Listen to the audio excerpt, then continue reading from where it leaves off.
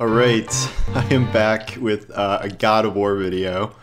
I um, decided to record this, I guess, in character as battle scarred Kratos. Um, those of you who missed it on Twitter, I was in the hospital recently where uh, it's complicated, but like essentially what it comes down to is too dehydrated, change positions too quickly, blood pressure drops, I pass out. Um, this has happened a couple times, but this time I hit my face on the tile floor of the bathroom right over there.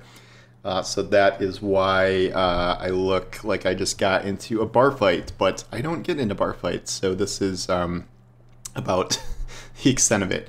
Uh, in a perfect world, I would just be playing uh, some game footage over this, except for the God of War First Impressions embargo, um, which was a couple days ago you can't have any footage. Uh, you're only allowed to show very specific screenshots that they gave you um, for that period of time in the game. So I will just have to be kind of talking through it. Um, this this is a, a first impressions thing that is based on the article I wrote at Actual Embargo, but some people were kind of asking me where uh, the actual video was, and I figured it was, um, you know, there's not too much happening in Destiny at the moment other than Festival of the Lost grinding, so I figured I would circle back around to this uh, ahead of a longer review, which will uh, come out later. And so this, the first impressions is it's essentially the first four to five hours of the game. Uh, the first two main regions, which are Midgard and Svartalfheim. I now now that I'm recording a video, I have to pronounce all of these out loud. Uh, so it's the first two kind of major regions in the game. You're not supposed to talk about some certain story things, but some stuff is okay, and I'm, I'm going to be try being vague as vague as possible and not really get into uh, story spoilers. I, I will say like you kind of really should know the end of the first God of War um, to get into uh, God of War Ragnarok. Uh, there's literally a like catch up video at the beginning where it'll just take you through the first game. I guess you could just start with Ragnarok. I don't really know why you'd want to, but it's possible, I suppose. Um, but we are going to you're going to need to know some certain things, uh, which I will start talking about now. Um, the main important things to know going into this game is the discovery that uh, Atreus's giant name is Loki, and he has like some special role uh, among the, the giants, and then in this realm, and then the death of Baldur, who was uh, essentially the main villain of the first game, and his death has created sort of uh, realm instability, I guess, where something called is it Fimble Winter? I think it's called, where um, all the realms are kind of really screwed up. Like in Midgard, it means like it's a really really severe um, like ice blasty winter. In other realms, like in Svartalheim, uh, it's like a more of a swampy region, and the you know it's becoming more gaseous and dangerous and stuff. And so it, it affects the realms in different ways. It's kind of a, a way to transform the realms a bit. Um, you are not going to have like well, this is a sequel and you are starting over from scratch, this isn't going to send you on like another long quest for uh, Kratos's you know famed weapons. Like obviously a big part of the first God of War game was you're using the axe for so long, and then eventually you get out the Blades of Chaos, and what was one of the best moments from that game. Here, like the very first part, you will be using his axe only, and then eventually just he's just he's like just has his Blades of Chaos kind of hung up at home uh, and then you will be able to use those right away. And you will have access to a good amount of combos and stuff. And you know, it's not like you can't really do anything um, once you get them right away. You will have a certain amount of, of moves that you get, and then kind of as you unlock and go down the tree, it like amplifies those moves, and then you'll unlock some new ones. Uh, and not having gone fully down the tree, I don't know what kind of surprises remain in store for the upper upper tier levels, but in this early part of the game, uh, combat is certainly immediately as, as fun and satisfying as it was uh, in the last game. It is. I prefer the axe personally. I think. I don't know. I can't really pinpoint why. The uh, I do like the the grappling aspects of the the blades of chaos, but I just really like the way the axe feels, and I like the Thor's hammer aspect of of throwing it and recalling it. That remains a very satisfying mechanic, uh, and I really enjoy that part of it. Um, one interesting thing about skills this time around is that you will level them up as you use them. So if you do like the charged heavy throw attack or something like I don't know 25 times or 50 times or whatever it is, it's like a little it's like a little Skyrimish. Like you will level up that skill and then you can invest some XP to upgrade uh, a choice of like damage, stun, or like elemental buildup, and like there's different options for different skills. So that's kind of a cool aspect that uh, will increase your power based on your style of play. Like if you find yourself using one weapon or one style of, of gameplay every so like more than others, you will be able to um, get rewarded for that. Or it will also encourage you to use a more diverse array of skills if you're if you're uh, not really um, if you're avoiding some skills, maybe uh, you won't be able to level them up. So you might want to focus on those a little bit more. Uh, in terms of actual combat, I didn't say this in my initial written review because I wasn't like 100% sure if we could talk about it, but Sony just did a whole thing about how there was like an official Sony blog post about the Thor fight at the beginning, and while I will avoid the context of the Thor fight, uh, you do fight Thor, and it's a very cool fight. If you if you played the Baldur fight at the beginning of um, the uh, the last the first God of War, uh, well, first, you know what I mean. It is somewhat similar to that.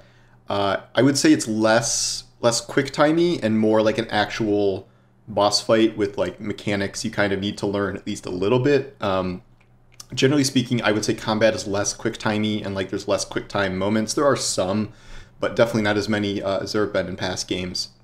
The Thor fight is really good. Uh, Thor is freaking enormous. He's like almost twice the size of Kratos. He's just like a big freaking dude. Uh, and the fight is just him like taunting you the whole time and like saying you're not the real God of War and all this stuff like that. Uh, and you will be kind of slugging it out all across uh, Midgard through the course of that because obviously Thor's hammer can launch him places and launch you places and stuff like that. Um, I don't think it's a spoiler to say you're not going to kill Thor in the beginning of this fight. Uh, you're not just like murdering, you know, one of the main new characters immediately, similar to what happened with Baldur. Uh, so, we, but we do get some scenes with Thor and Odin and Kratos and Atreus, and again, without context, very, very impressed by uh, both Thor and Odin as new characters. Um, Thor is vo- voiced by Ryan Hurst, who you may know from Sons of Anarchy as Opie. More recently, he was Beta in The Walking Dead. Uh, and then Odin is oh, frick, I can't remember his name. He's he's the guy from he's in the West Wing. He's the guy with the goatee who's bald from the West Wing, and you'll know his voice immediately. Uh, I just can't think of his name off the top of my head. And like it's a, it's an interesting version of Odin where like he's not like some brawling strapping dude himself. Like he's kind of very methodical and very kind of conniving, and and it, it's it's definitely a different take. It's it's both a very different take on Thor and on Odin, like that we've ever seen. Um, obviously, this version of Thor is not really going to be anything remotely like the Chris, Hems- Chris Hemsworth MCU Thor that we've gotten to know for you know a decade or whatever it's been now. He's not like your, you know, funny, jokey, blonde, handsome hero dude. Like that's just not what this version of Thor is. This one is supposed to be a lot closer to uh, the mythology itself and um, kind of rely on the Norse stories of him, not just like who's going to make a good superhero, which is obviously the Marvel version. Uh, really looking forward, you know, to to more from those as, as the game goes on. Uh, in terms of the actual kind of uh, as the game progresses here, you will go from Midgard Midgard to Svartalheim, and your goal there is to find Tyr, the uh, Norse god of war, who is being imprisoned by Odin somewhere uh, in this dwarven realm, and you will kind of go to a dwarven city, uh, fight a bunch of swamp-based monsters, kind of, and then you'll find Tyr. I've only in this part there's you only get like a little bit of voice acting from Tyr, um, and we've you know I, I know you've seen some stuff of Tyr in the trailers, but like this imprisoned kind of I don't want to say castrated, but like kind of. Uh, version of Tyr is like kind of the polar opposite of Kratos in many ways. Is like Kratos is the god of war, uh, for the Greek pantheon now, based on the events of the past games, whereas Tyr is like essentially like a fallen god of war um, that is in pretty rough shape uh, when you meet him. Um, this time around, it, it's kind of Atreus leading everything. Like before, it was like Kratos on a quest to, you know, spread his wife's ashes, and Atreus is kind of tagging along for the ride. This time, it is Atreus who is trying to find out the greater meaning um, behind his own identity and like what being Loki means. And then all of this is centered around the idea of Ragnarok happening, Ragnarok being the great catastrophic event of this realm, which is a giant war and like every like not everyone, but like a lot of people are gonna die and like how can we avoid this? Is it inevitable? Like stuff like that. So it'll get more and more complicated as time goes on, but that's kind of the, the gist of it here. Uh, in terms of other gameplay things, one thing I mentioned in my early preview before was that the game can start to feel maybe a little claustrophobic at times where like I, I know this is the format of the game where you go to these like kind of smaller instance areas and then it's like you're in this room you got to solve a puzzle to get to the next zone using some combination of your tools and abilities uh, and stuff like that. It's just there aren't that many games like this anymore so it just feels a little strange to constantly be kind of herded into these very very linear like hallways and like very you know um, con- constricted rooms where it's like beat a handful of enemies and then solve this like weighted pulley puzzle or whatever with your your freeze axe and pulling things with blades of chaos and to the point where like sometimes it's like okay here's like uh, wooden scaffolding leading up there but like you can't just climb it or you can't jump the 12 feet up there even though you're a immortal god of power like you got to solve the exact puzzle thing. And like some rooms this works if it's like a, an obstacle you really can't get past. Sometimes it just feels a little goofy where it's like, okay, Kratos, I think you can jump this, you know, tiny little gap here and you don't need to solve some puzzle for it. Um, so far, there's not really a ton of like in, in this part like open segments, and so it does feel maybe a little claustrophobic. Uh, as time goes on, we'll see if kind of um, that changes. But it, that's just something that kind of struck me in, in this first part here. And I know it is very similar to the last game, which I loved. It's just, I don't know, four years later, we just don't really see that many games like this. And like other games in this genre, they're kind of a lot more sprawling. Like you have Horizon Forbidden West, where it's this huge open world of exploration, and then you go into these individual dungeons, which are maybe more linear and full of puzzles, but it doesn't feel quite as on the rails and constricted. That said, I really do. I enjoy the puzzles. I really enjoy the combat. The combat is still absolutely top notch. And if you loved it in the last game, you're going to love it in this game. Um, there are already hints in this section about how it will evolve. Like uh, Atreus has a kind of small skill tree at the start, and you will, there's a lot of blank space to fill out there. Um, uh, just even in like early armor drops and stuff, you can see that there are going to be kind of um, interesting builds you can make for Kratos, kind of above and beyond what we had in the last game, probably. Uh, and then um, it's just the mechanics are just so good. Both Blades of Chaos and the the throwing axe are, are a lot of fun.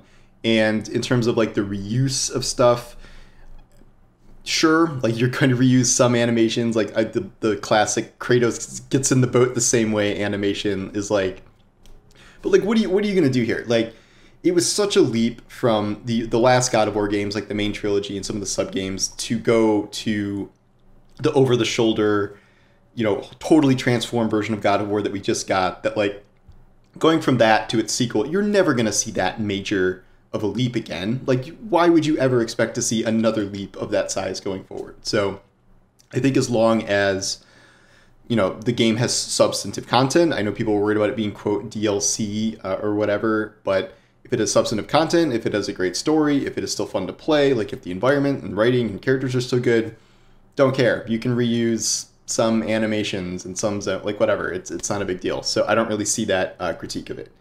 Um, I think I'm probably bumping up against the limit of what I can talk about here in these early sections um, and these early hours here.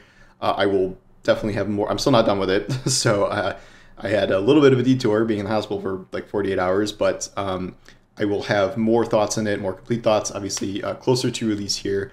But I did want to kind of um, condense my early thoughts for the preview in video form here. So, anyway, uh, thanks for watching, and I will talk to you soon. Take care. And yes, I'm drinking water. I know everyone wants me to drink water. I'm drinking water. See, this is my, this is my water. I'm drinking water. So, thanks for all your concern. I appreciate it. All right, talk to you soon.